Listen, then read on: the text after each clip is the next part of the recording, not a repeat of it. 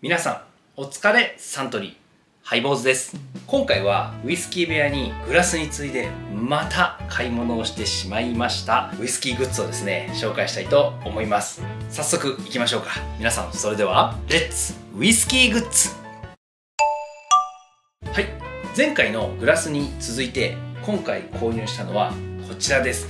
念願のやっと手に入りました。こちらバースプーンでございます。持っている方も多いんではないでしょうか。今まで箸マドラーだったのでついにバースプーンデビューできました。スプーンの形状はまあ至って普通なんですが反対側はフォーク型のものにしました、えー、カットレモンとかをですね刺して添えたりする時に使うそうですが一切使っていません。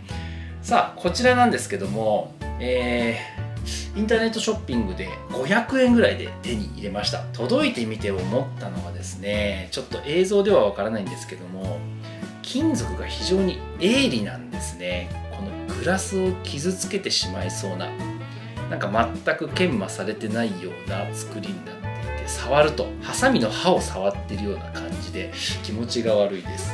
またこのツイストしてる部分ですね。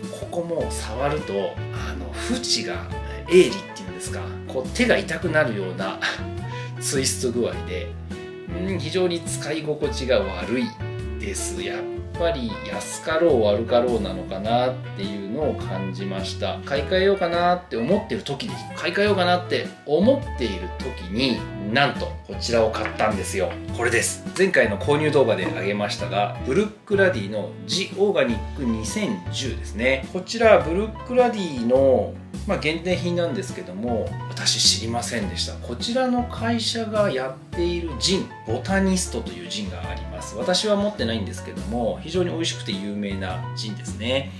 そちらの会社はここの会社が出してるジンなそうなんですね。ということでこれを買った、まあ、購入者へのプレゼントとしてグラスか実はバースプーンを選べたんです。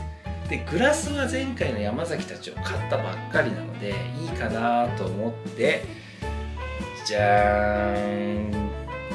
はい。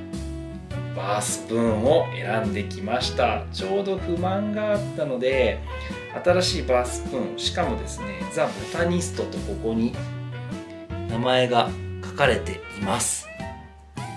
スプーン型の先っちょとですねお尻はこの平べったい形で、まあ、特に使い道はないと思うんですけどシンプルな形で選んできました。